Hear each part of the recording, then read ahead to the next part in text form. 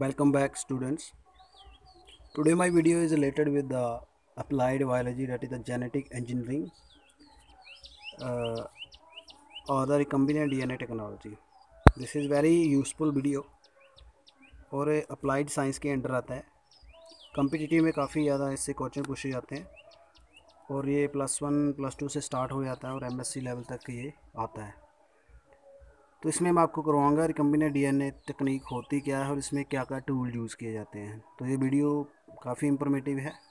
तो पूरा समझने के लिए इसको एंड तक देखिएगा और ज़्यादा वीडियो के लिए चैनल को सब्सक्राइब करिए और बेल आइकन को दबाइए। तो recombinant DNA technology the manipulation of genetic material by man in vitro genetic material जो है डीएनए है, उसको मैनिपुलेट किया जाता है लैब में। नंबर ऑफ़ मेथड हैं इसमें। उसमें डिज़ायर जीन और डीएनए या सीक्वेंस उसको निकाल लेते हैं पर्टिकुलर ऑर्गेनिज्म से और उसको किसी होस्ट के साथ बाइंड करके उससे डिज़ायर प्रोडक्ट लिए जाते हैं, जो कि ह्यूमन की नीड्स को सेटिस्फाई करते हैं। That is called recombinant DNA technology so जो रिकम्बिनेट डीएनए है, उसको आर डीएनए कहते हैं और आर डीएनए में एक वेक्टर होता है और दूसरा इंजर्ट इंजर्ट का मीनिंग है जो जीन आपने डाला है। तो ये हम डिटेल में करेंगे। और इसके दो बेसिकली टेक्निक्स हैं जिससे हम जेनेटिक मटेरियल इंट्रोड्यूस कराते हैं किसी ऑर्गेनिज्म में।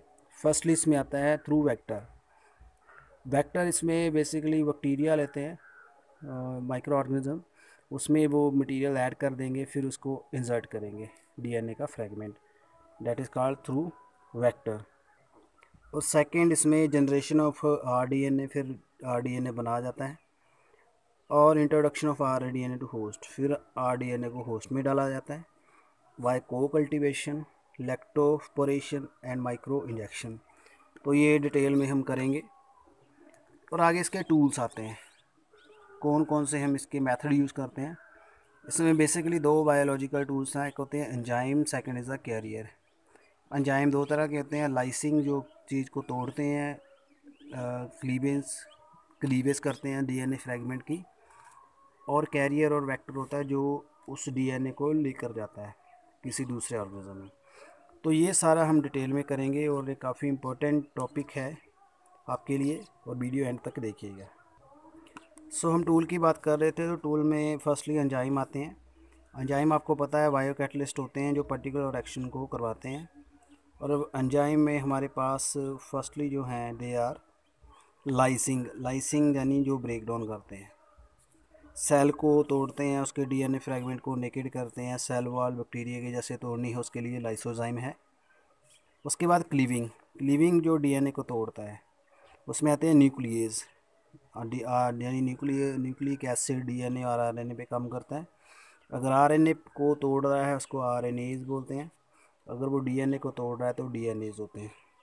उसके बाद इसकी टाइप्स हैं एक्सोन्यूक्लियस एंड एंडोन्यूक्लियस जो डीएनए के फ्रेगमेंट को पेरीफ्रीज पे तोड़ते हैं, जो उसकी टर्मिनल पोजीशन पे तोड़ते हैं, उसको एक्सोनिक्लियस बोलते हैं, और जो इन बिटवीन तोड़ते हैं, उसको एंडोनिक्लियस जो एक्सोनिक्लियस होते हैं, तीन तरह के होते हैं exonuclease one two and three जो एक्सोनिक्लियस वन है, ये सिंगल स्टैंडर्ड डीएनए को तोड़ता है एक्सोनिक्लियस टू डबल स्टैंडर्ड पे काम करता है, और आरएनए पे काम नहीं करता.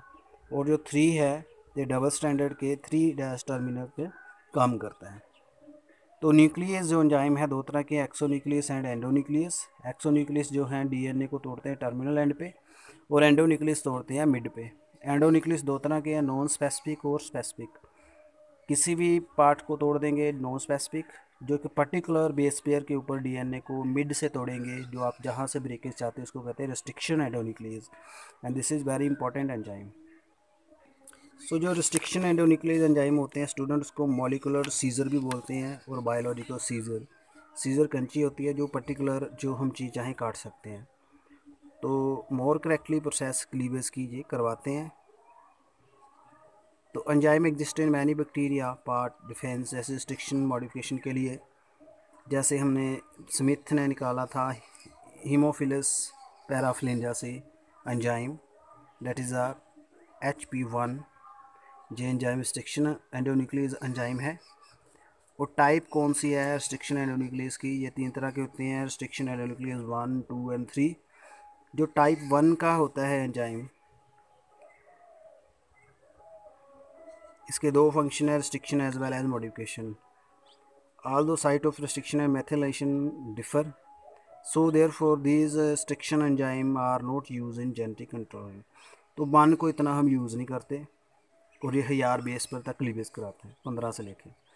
और दूसरा जो है, टू, ये इन विट्रो लैब में यूज़ किया जाता है और आइडेंटिफाई कर लेता है सीक्वेंस को। Cleavage and methylated and sequence close to them. उसके बाद थ्री आता है दीज एंजाइम बहुत एक्टिवेट रिस्ट्रिक्शन एंड मॉडिफिकेशन कराते हैं और इसको जीन क्लोनिंग में यूज़ नहीं करते। सो so बेसिकली हम क्या करते हैं, टू को ही यूज़ करते हैं। उसके बाद आते हैं रिकोजिनेशन साइट। रिकोजिनेशन साइट जो डीएनए के ऊपर होते हैं जिस जहाँ हमने को पर्टिकुलर जीन को बाइंड करना होता है उसको रिकोजिनेशन साइट बोलते हैं। और बेसिकली ये गाइनिन एंड साइटोसिन रिच होते हैं सेगमेंट सो so, जो सिमेट्रिकल सीक्वेंस होते हैं पैलर एंटी पैलर सेम चलता है उसको पैलेंड्रोमिक सीक्वेंस बोलते हैं।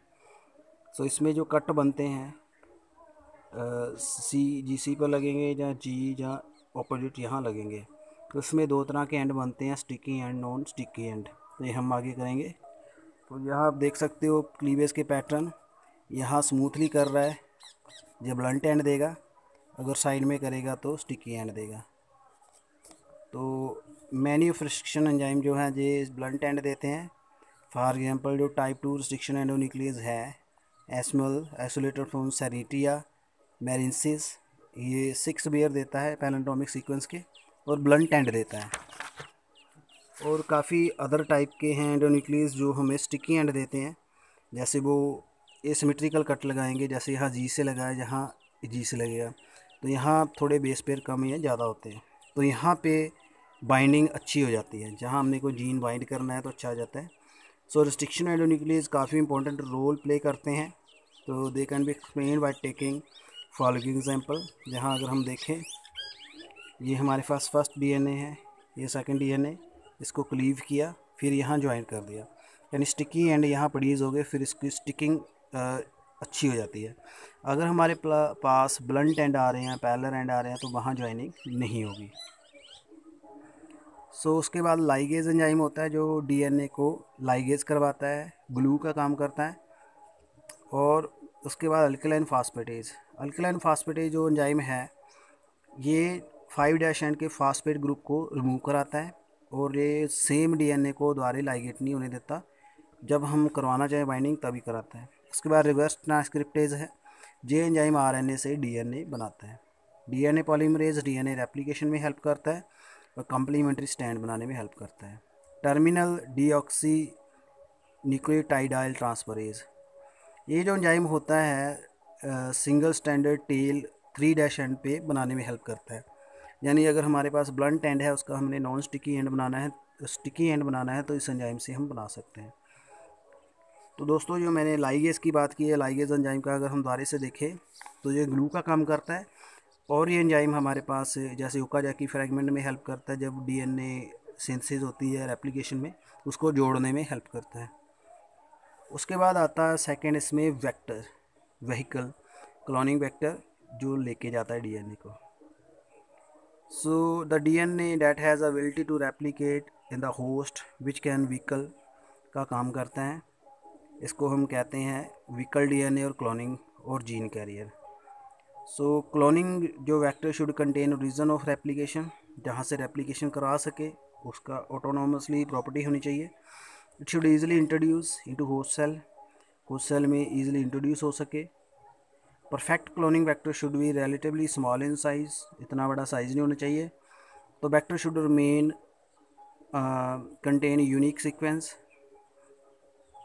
Vector should have suitable marker.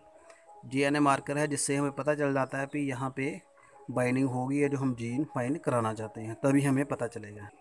So so, vector काफ़ी तरह के हैं पहले आते हैं प्लाज्मिड। तो इसकी बात की थी विलियम हीज हॉगस लेजरवर्क ने। तो ये एक्स्ट्रा सर्कुलर डीएनए होता है जो बैक्टीरिया में होता है, उसको प्लाज्मिड बोलते हैं और ये काफ़ी हेल्प करता है। तो plasmid F plasmid R plasmid bacteriogenic cryptic plasmid episome mega plasmid conjugative plasmid और डिसमिलेशन प्लाज्मिड जो अलग अलग इसके टाइप्स हैं। तो ये डीएनए है एक्स्ट्रा जो सर्कुलर डीएनए जो प्लाज्मिड है। तो बैक्टीरिया या प्रोक्रोटिक सेल का जो प्लाज्मिड होता है ये मेन डीएनए से ज़्यादा हेल्पफुल होता है। ये उसको फर्टिलिटी यानी रिप्रोडक्शन में हेल्प कराता है रजिस्ट्रेशन के लिए हेल्प कराता है और उसको अदर एक्टिविटी भी इसके थ्रू होती है। और ये प्लाज्मिड हम निकाल सकते हैं। उसके बाद बैक्टीरियोफाज वेक्टर होते हैं। बैक्टीरियोफाज हमारे पास पता वायरस होते हैं जो बैक्टीरिया को खाते हैं।